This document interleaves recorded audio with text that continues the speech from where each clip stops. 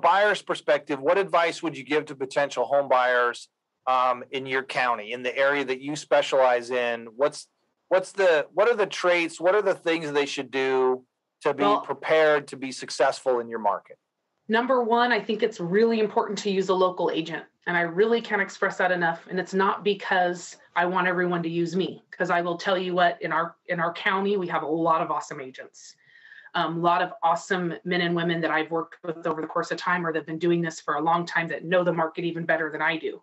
So it's not about just using me, it's about using somebody local. And the reason why I will say that is because we have our we have opportunities to know things that are coming up or know when something's coming up or we know all the agents in town. So we have a uh, hey I, I, I mean i know pers- agents personally that we have barbecues together our kids play together so we're talking. So you know the word of the mouth here is is strong because of it being a small town. So it's important if you've got an agent that lives two hours away they're not going to want to go look at a house on a drop of a hat for you where we are going to oh, because that's a great point. the woods you know? Um, but also they got to be prepared be prepared to be aggressive. And a lot of people that are apprehensive and i totally understand that i totally get it. If you're not if you're not that kind of aggressive type of person then maybe this just isn't the right time to buy you know? But for you that wants to buy you got to be great.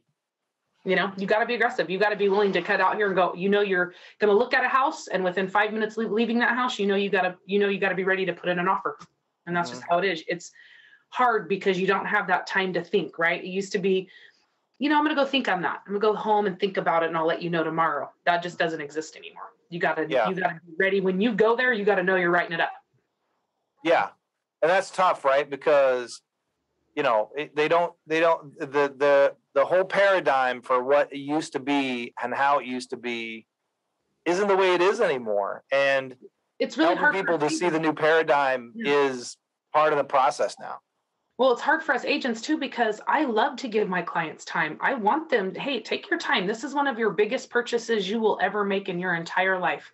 I want you to take your time and make sure that you love this. So that's why I say for that apprehensive person that's maybe a little worried or, you know, I'm not going to force somebody to to feel being a to feel aggressive or to feel like they want to jump on it. You've got to know that when you go into it, that's what you're going to do.